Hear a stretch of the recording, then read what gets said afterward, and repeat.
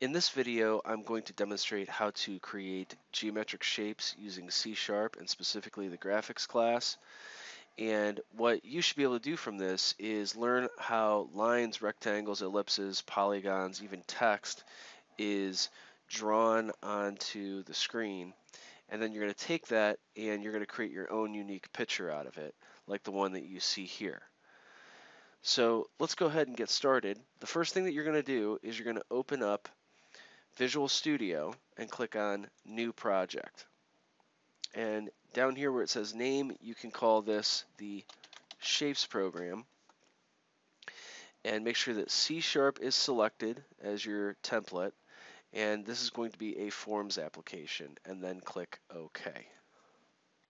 To begin setting up our project, we're going to click anywhere in the design view and then push Alt-Enter on your keyboard or right-click and select Properties. That should bring up the Properties panel somewhere in Visual Studio for you. And at the top of it, you should see Form 1. If you do not see Form 1 selected, then you need to just click anywhere on Form 1 so that it shows up here. Now what we're going to do is we're going to set up the form to be drawn to. We're going to use form 1 like it's a canvas. And to do that, we need to access the paint method for this form. To do that, we're going to switch our properties panel into alphabetical mode. So just click this A to Z icon right here, and we're going to change it from the properties list to the events list. So the little thunderbolt icon right here, click that. And since this is alphabetized, you should be able to scroll about halfway down and locate the paint method. So this is going to manage all of the drawing of the shapes onto our form. So I'm going to double click in this box and it's going to create what's called a method stub. That's a blank method. There's nothing in it. This is the name of the method and it takes a couple of parameters here and we're going to access this one shortly. So the main subject of this video is the graphics class. So I'm going to create a graphics variable first. So I'm going to go ahead and just use the word graphics. So this is going to be our data type. And then I have to give it a name. And I'm going to call this one G. So G is the name of our variable, and it, it basically represents a graphics object. Which graphics object is it going to re represent? Well, it's going to be e.graphics. And that basically is the, uh, this is the uh, graphics painting argument being passed to this method. So the object in memory that is drawing everything, this is what it's pointing to. All right, the other thing that I wanted to do to set this form up is set its width and height. We can do that right in the constructor. So right underneath initialize component, I'm going to add an extra line and I'm going to say this. And that's a keyword that refers to this object in memory. In other words, when form 1 is created and being built, and we could have many copies of form 1 on the screen, so this particular copy, I want to set its width property to 500 and this dot height, so that's its height property, to 500. So every copy of the Form 1, it will set that particular co copy in memory to a width of 500 and a height of 500. Now this also could have been done in the design view, but everything we're doing in this video is basically going to be on the code side of things. To begin drawing shapes, you need to specify either the program is going to use a pen or a brush. A pen will draw the outline of a shape, and a brush will paint the interior of a shape, and that's the major difference.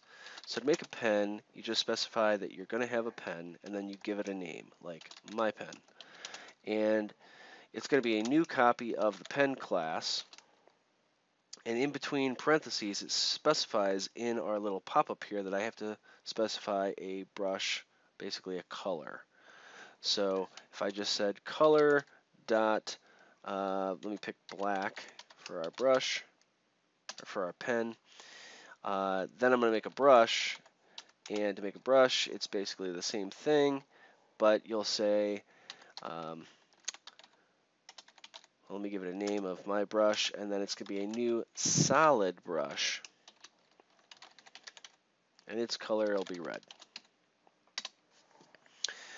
All right, so once again, the difference between these two things is this will paint the uh, exterior and this one will paint the interior of an object. Okay, so now to put these to good use, we need to know how the program can draw a particular shape. Let's start with a line.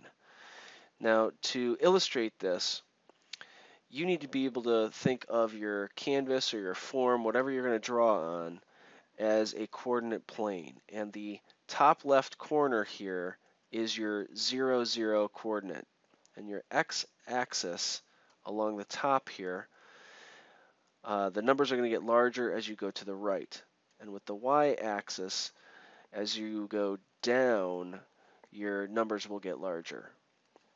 And that might be a little bit different from what you're used to in geometry class, but that's going to be how it works here in our form. So now if I wanted to connect two points, the way that the draw a line method is going to work is that, for instance, if I picked this point right here, so this would be 1, 2 over on the x-axis, and 1, 2 down on the y-axis. This would be coordinate 2, 2. And if I wanted to connect that with, for instance, right here, this would be 1, 2, 3, 4 over on the x-axis. So I'll put a little 4 right there. And it's 1 down on the y-axis. So 1 goes right here. And all I have to do is specify that I want to connect from 2, 2 to 4, 1, and the computer will draw a line connecting those two points. It's that easy. So let me go ahead and demonstrate that here. I'm going to say g dot, so g is our graphics variable, and then when I start typing draw, you can see draw line appears in my pop-up list. And then I'm going to say, do I want to draw with my pen? Yes, I do. So I'm going to say my pen, and then it's going to ask here for point one, point two. And if I were using points, a point represents a pair. So that would be another version of the draw line method that I could use. But in this case, I'm just going to specify all four. So here I wanted to specify from 2, 2 to 4, 1. Oops. In my form, that's going to draw a line. I can go ahead and push play and actually see this. It's super tiny up here in the upper left because it's pixel based. Uh, that is really small. So let me make this a lot larger. Let me say that this is going to go from, uh, let's say, 0.22 down to uh, 400 and on the y-axis let's make this 450 and push start and now you can see a much larger line. Okay, so keep in mind that this is a uh, unit of measure in pixels. So if you had something super small, like in my coordinate example here, it might be very unnoticeable. Okay, so that's how you draw a line. Now for the rest of these, I would like you to be able to look these up in, in the API, so that's your reference guide for C Sharp, and on the assignment page I have a link to it. So right here it says MSDN's graphics class. Click this link and it will show you how to make lines and rectangles and ellipses and polygons. So here's the graphics class. It's actually pretty extensive. Uh, if I went to the top, it says that this encapsulates the GDI drawing surface and it comes from the system.drawing uh, namespace. Well, basically all that means is these are all the methods for drawing stuff like arcs and curves, lines, pretty much you name it.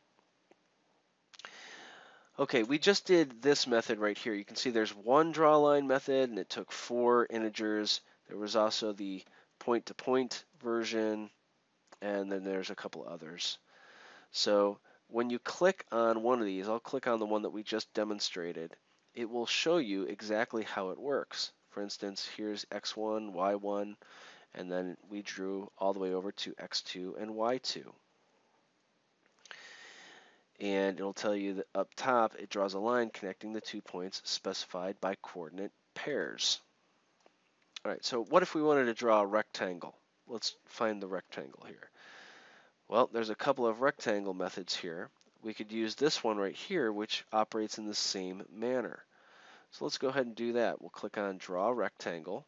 It says draws a rectangle specified by a coordinate pair with a width and a height. So all we have to do is specify where to begin drawing the rectangle, for instance, x and y coordinate, and then specify the width and the height. So it works like this. Basically, if we pick a spot such as, let me pick this dot right here. All right, so this is, so this was 4, so this is 5, 6. This is coordinate 6, 1, and we said that this was going to be a width of 2 and a height of 2, then it knows to start here, and we want a line. If it's a rectangle, it will draw a line here and a line here because it knows that the height is 2, so the lines are going to go across here, and then we would obviously want a line down here and a line down here. So all we have to do is specify this one point, and it can draw the rest. And that's how the draw rectangle is going to work.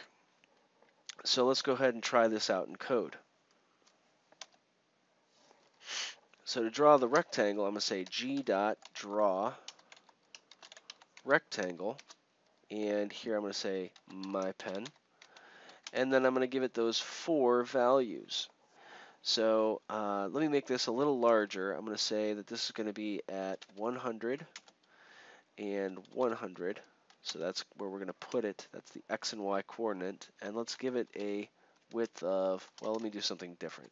200 and 150. All right, so that's going to be its width and its height. All right, put a little semicolon at the end, save it, and show it. All right, so there is our rectangle. All right, now what if I wanted to draw a circle? All right, so let's try a circle. Well, they don't have a circle method in this list, but what they do have are ellipses.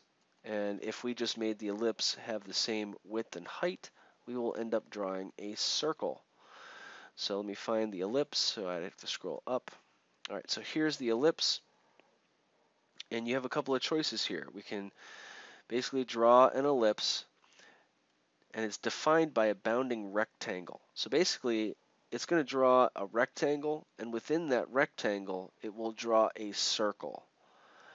So the way that that works is, let's say we wanted to draw an ellipse in this circle, since it has a um, equal width and height, so this is 2 by 2, it will then draw a circle within this bounding box. So it's going to just draw like this in that bounding box. If the rectangle was more like this. All right, so here is one that is longer than it is tall. Then the ellipse would be a little bit more elongated like that. All right, so this is how an ellipse works. Let's go ahead and do that in code. So I'm going to say g dot draw ellipse, and I'm going to specify a pen like my pen and then I have to give it the rectangle. So let's go ahead and just uh, put somewhere else. Let me say 200 by 200. All right, so this could be a little bit lower than the other one. Uh, and that would actually overlap. So I guess let me, let me move this over to 300 on the x-axis. And then the width and the height. All right, so let's make this 50 by 50. All right, so that would be a circle. Let me go ahead and play it. Oh, I forgot my semicolon. Let me add that and play it again. All right, so there is our circle right there. And one more thing that I'm going to show you here in terms of shapes, and that is the arc. The arc can sometimes be a little confusing, uh, but once you figure it out, it's not that bad. All right, so for an arc, we draw an arc representing a portion of that ellipse specified by a pair of coordinates, the width and the height. So I'm going to go ahead and click on this, and you'll see some other stuff here. The two things that are a little difficult for some students to catch on to is the starting angle and the sweep angle. So basically it's everything we just did with the ellipse, but it wants to know where we want to start and end. So the way that this works is let's pretend that we have a rectangle again. In this case, it's going to be just a perfect circle here. The ellipse drew like this. And the starting position of the ellipse is actually right here. All right, so however many degrees that we specify from the x-axis, like cutting through the middle, it's going to draw clockwise around. So if I said that I wanted it to draw an ellipse from uh, from the starting position of 0, which is right here, to 90 degrees, it would draw from here down to there. All right, so this would be 90 degrees. So 0, 90, and then if I wanted to come all the way over here, this would be 180. 180, all right? So let me go ahead and demonstrate that in code. So I would say g dot draw arc using my pen, and let's put this in the upper right. So this would be like uh, maybe 400 by uh, 100 and so that's where we're going to put it in the upper right. And we'll put it uh, we'll make it in a bounding box of 50 by 50 and the starting angle will be zero like I just specified and go for 90 degrees. Alright so we're just going to go ahead and save that and push play. And here you can see it went from 0 on the right side down to 90. If I were to change this to 180, then as I demonstrated here, this is going to be a full half circle. All right, so let me go back to the program and push play. All right, so here's our half circle. And we could even go in negative direction. So from, from 0 to negative 90, this goes in the other direction for your sweep angle. So you can use that draw arc in that manner. All right, the last thing that I want to show you is how to draw a string. So let's go ahead and look that up in the API. So let me go ahead and click this and find draw string. So this is alphabetical. So I'm going to find that down here. All right, so basically I need to uh, use one of these drawstring methods. I'll click on the top one. And here it says it draws the specified text string at the specified location with the specified brush and font. All right, so an easy way to do this is to just take a look at the example. And as a matter of fact, we can just copy straight out of the example right here and paste that into our code. So the first thing it wants is what do you want to say? Well, we'll just say sample text. Uh, what kind of font do you want to use? Well, we have to specify the font. So we want Arial, 16 point, and then uh, let's just use the brush that we've been using. So I'll just delete that and replace that with my brush. And then we specify some points. All right, so this would be our X and our Y coordinate right there. All right, and then if I just replaced this with the letter G, just to keep it consistent with what we did. So this is our graphics variable. We say drawstring, draw, sample text. I could easily just replace that with hello world, and then I wouldn't even need this. I just need to specify the font and the draw point and push play. All right, and it'll say hello world in the middle of our form. Okay, so this has been an overview. Your job next is to create your own picture similar to something like I did here that uses at least lines, rectangles, ellipses, polygons, and text in any combination that you see fit so that you create a scene with all of these shapes.